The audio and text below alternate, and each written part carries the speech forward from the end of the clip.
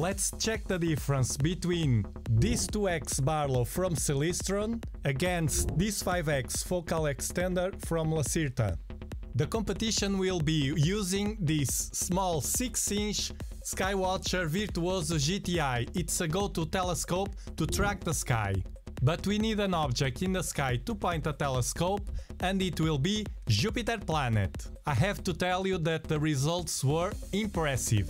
You'll see in a moment. I also used my ZWO294 MC color camera with this adapter which is a 2 inch to 1 and a quarter adapter in order to fit this focuser.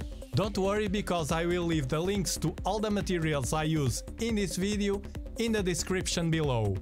Let me remember first that with the 2x Barlow we will be working at f10. The telescope is an f5 and with the 5x focal extender we will be working at f25. The long focal lengths are always better to do astrophotography with the planets. And let me also remember you that if you use a Barlow with an eyepiece or a camera, if you move the eyepiece or the camera further away, you will increase the magnification. However, with a focal extender you can move it but it will not change the magnification.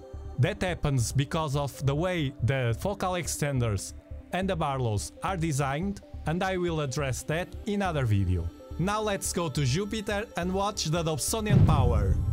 As usual I'm using SharpCap software to get a live view of the planet. Both captures were made at different times.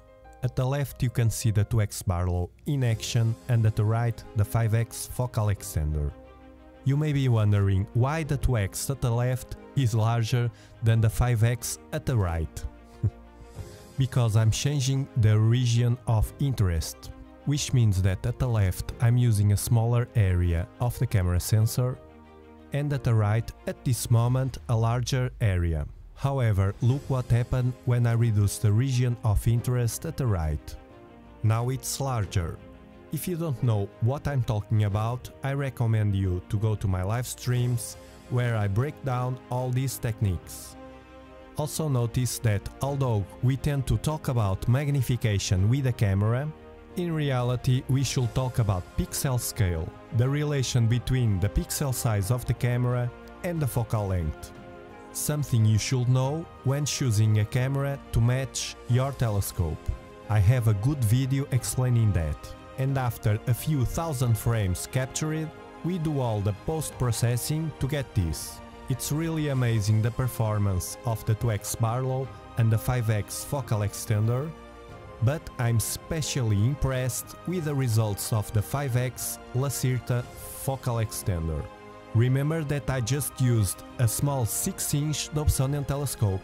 So if you are impressed, as I was, with the results of this 5x focal extender from Lacerta, I remember you that you can buy it from AstroArt Finland, our astronomical partner, with the links at the description. And next, click on this video over here to increase your level about Barlows and focal extenders.